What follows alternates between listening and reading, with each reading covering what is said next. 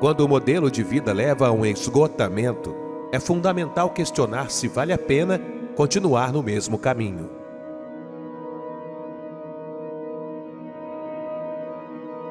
Não seja possuído por aquilo que você possui. Quando quero alcançar algo, preciso lutar por isso, em vez de ficar aguardando. Elogie em público e corrija em particular. Um sábio orienta sem ofender e ensina sem humilhar. Eu não estou preocupado com a morte, mas com a vida, para que ela não seja banal e fútil. Quando você se for, o que vai deixar? Sim, sem dinheiro não se vive, mas só com dinheiro não se vive. O conhecimento serve para encantar pessoas, não para humilhá-las. Uma pessoa que seja capaz de amar é aquela que recusa aquilo que faz mal. Precisamos de memórias que sejam forças auxiliares, como um gerador de vida. A motivação é uma porta que se abre por dentro. Estar satisfeito consigo mesmo é considerar-se terminado e constrangido ao possível da condição do momento.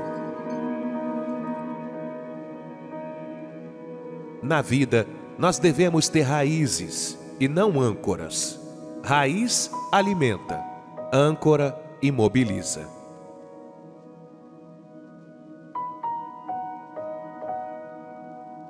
A tragédia não é quando um homem morre a tragédia é o que morre dentro de um homem quando ele está vivo. A tristeza do rio é não poder parar. Se você pode, aproveite.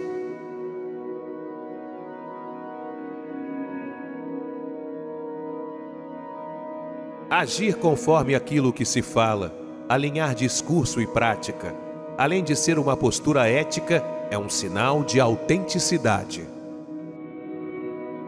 Flexível é aquele que muda quando considera adequado mudar.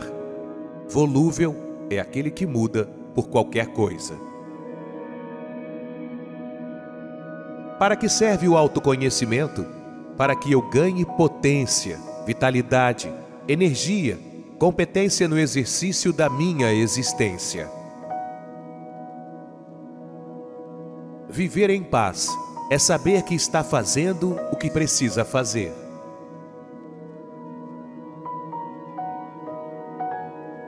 Gente não nasce pronta e vai se gastando. Gente nasce não pronta e vai se fazendo. O impossível não é um fato, é uma opinião.